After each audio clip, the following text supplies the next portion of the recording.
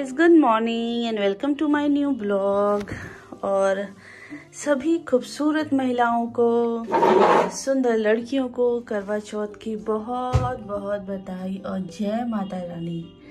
आज है करवा चौथ और तैयारी तो वैसे बहुत दिनों से चल रही है, लेकिन फाइनली आज मेन पूजा होगी। कल तो हम लोग थोड़ा बिज़ी थे, mehndi parlour and all mehndi वेहंदी लग चुकी है।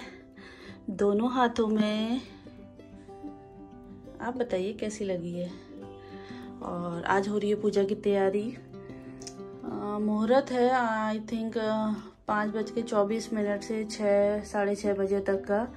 तो पूजा वगैरह हम लोग शाम को कर लेंगे। और जो मेन चाँद को अर्घ देना होता है, वो तो यहाँ नौ बजे के आसपास आएगा चाँद। तो तब हम लोग चाँद वगैरह की पूजा करेंगे। बाकी मेन पूजा आज का पेपर में मुहूर्त निकला है, साढ़े पाँच बजे से six forty one I think ऐसा ही कुछ निकला है। तो फ़िलहाल मॉर्निंग में मेरा सारा सफ़ाई वगैरह हो चुका है, नहावा लिया है मैंने और अब मैं करने जा रही हूँ मॉर्निंग पूजा और उसके बाद फरे जो हमारे वहाँ बनते हैं, उसको मैंने तैयारी कर दी है, दाल वगैरह पीस ली है और मैं अभी दिन में ही बना के रख जा, रख दूँगी, क्योंकि शाम तक तो हिम्मत नहीं होती है फिर। इतना सब करने का।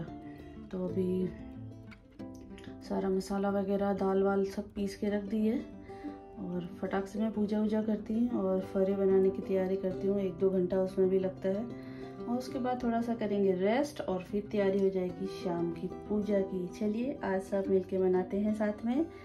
करवा चौथ। अब मेरा फरे के लिए आटा गूंद रही हूँ मैं। थोड़ा ज़्यादा आटा गूंदना पड़ता है, इसमें मैंने हल्का सा नमक डाल दिया है। और सिंपल जैसे रोटी का आटा बनाते हैं ना, वैसे ही आटा गूंदना है, कोई एक्स्ट्रा एक्टिविटी नहीं है इसमें। सिंपल सा आटा लगा लेती हूँ। दाल मेरी पीस चुकी है, चने की दाल मैंने रात को भिगा दी है। और उसमें मैं एक मसाला डालती हूँ फरे में। उसके लिए साबुत धनिया, साबुत मिर्चा, काली मिर्ची, बड़ी इलायची इन सब चीज़ों को हल्का सा गर्म करके इनको पीस लेती हूँ। और फिर इसमें जब पहले ये जो खड़े मसाले हैं, सूखे मसाले, इसको पीस लेती हूँ नमक डाल के। और जब भी पीस जाता है तो इसमें खूब सारा लहसुन डालती हूँ। और एक बढ़िया सा स्पाइसी सा मसाला तैयार हो जाता है, जो कि दाल में मिला देती हूँ। और फिर उस दाल को इसकी एक छोटी छोटी जैसे गुजिया बनाते हैं ना, वैसे ही बनता है ये। अब इसकी छोटी छोटी पूड़ी बनाएँगे और उसके अंदर दाल को भरेंगे और फिर एक पतीली में या कढ़ाई में पानी बॉईल कर देते हैं नमक डाल के और इसको पानी में पकाया जाता है। लगभग 40 से 50 मिनट लगता है इसको पकने में। तो फिर जब ये फरे पक जाते हैं तो ऐसे भी खा सकते हैं, लेकिन मैं इसको करती हूँ कट करती हूँ और इसको दो तीन स्टाइल से बनाती हूँ, जैसे कि कुछ मैं सिर्फ़ जीरा, मेथी, ओ, मेथी नहीं, सरसों, प्याज डाल के फ्राई कर देती हूँ और कुछ मैं प्याज, टमाटर, करी पत्ता, हरी मिर्च डाल के थोड़ा सा और अच्छा लगता है टैंगी टेस्ट आता है टमाटर डाल के तो वैसे फ्राई करके फ्रिज में रख के दो तीन दिन चल जाता है, बच्चे बहुत पसंद करते हैं। ये करवा चौथ पे बनता है, लेकिन हम साल में दो चार बार तो बनाए होते हैं तो आज की रेसिपी है करवा चौथ स्पेशल फरे।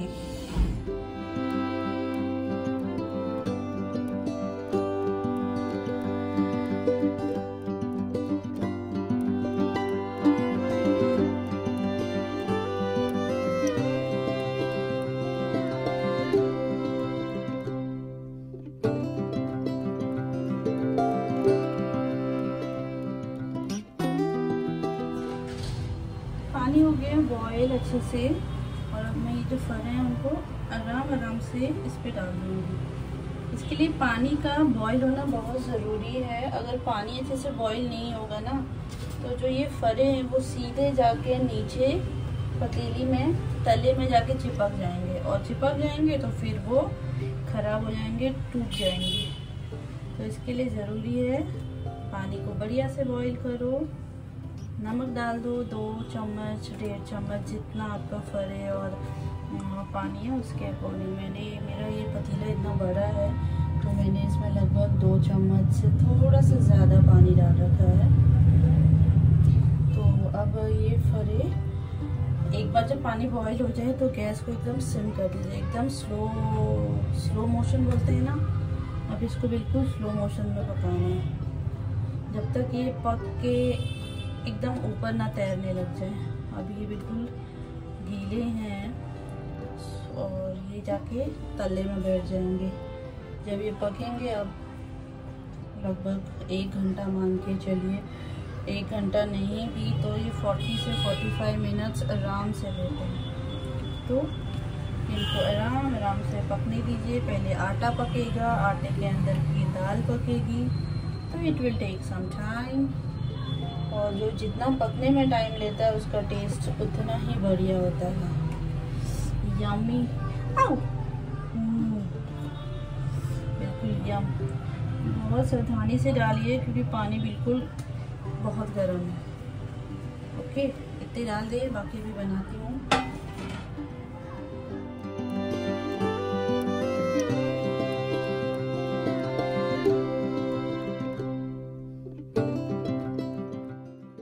नीचे का काम हो गया है। अब ज़रा छत की सफ़ाई कर लेती हूँ क्योंकि रात को मुझे यहीं पे पूजा करनी है।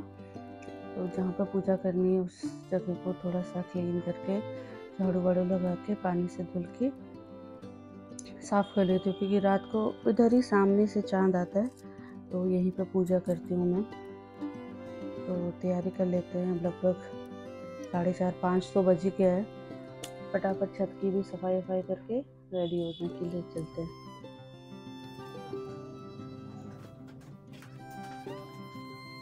चुके हैं शाम के पाँच। तैयारी चल रही है मेरी, थोड़ी करवा की पूजा के लिए। ये चावल भी गया है, इसको पीसना पड़ेगा, इससे करवा डेकोरेट होता है और ऊपर छत पे थोड़ा स्वास्थ्य वगैरह बनाते हैं, उसके लिए तो इसको सिलवटे में पीसती हूँ। बाकी फ्लावर्स वगैरह ले आए हैं और पहले करवा डेकोरेट करेंगे, फिर इसमें ये लैया वगैरह सब जो है इसके अंदर करवा के अंदर फिल किया जाता है। तो मैं पहले करवा की तैयारी करती हूँ, फिर खुद तैयार हो जाऊँगी। चावल भिगा के रखा था, उसको पीसा है और इसमें थोड़ी सी हल्दी मिला के इसको डेकोरेट करेंगे करवा को हल्का सा।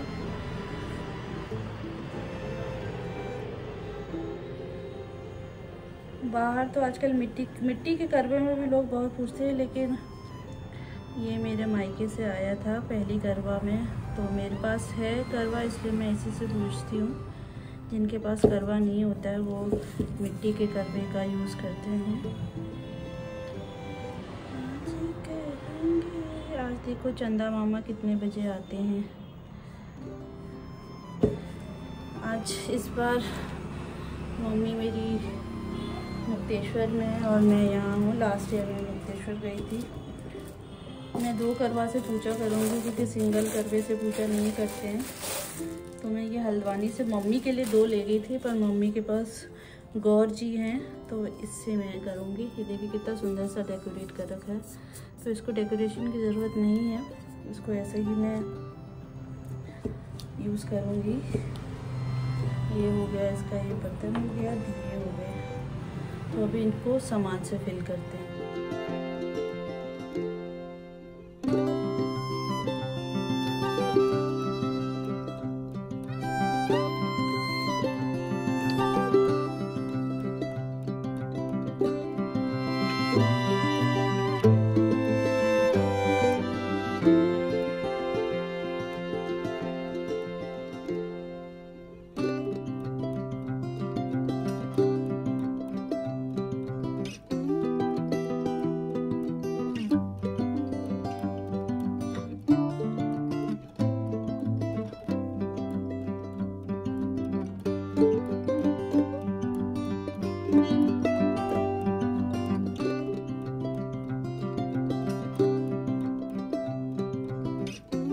चलो जाओ जाओ फुल छोड़ो सा।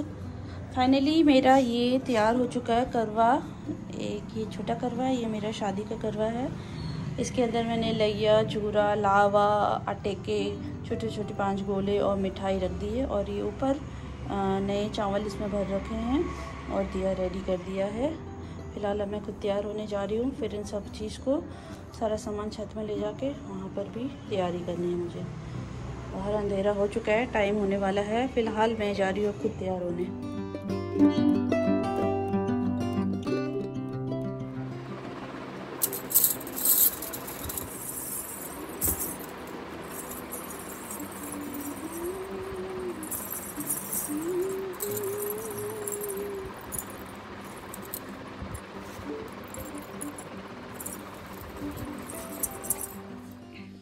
फ़िलहाल तैयार हो गए हैं और मंदिर में पूजा कर रहे हैं।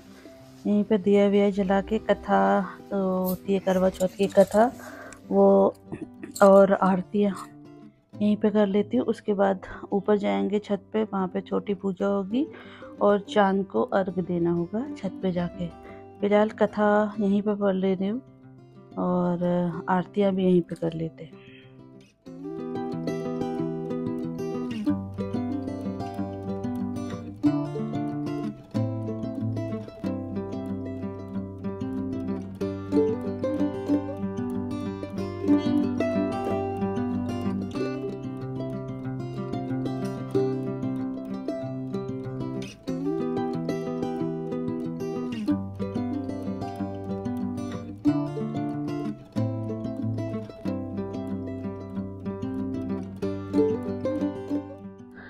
छत पे आ गए हैं। पूजा शुरू कर दी है। चाँद निकलने वाला है। इंतज़ार कर रहे हैं चाँद का हम लोग। और पूजा तब तक शुरू कर रहे हैं। देखते हैं चाँद कब आता है। चलिए फाइनली चाँद निकल ही गया है।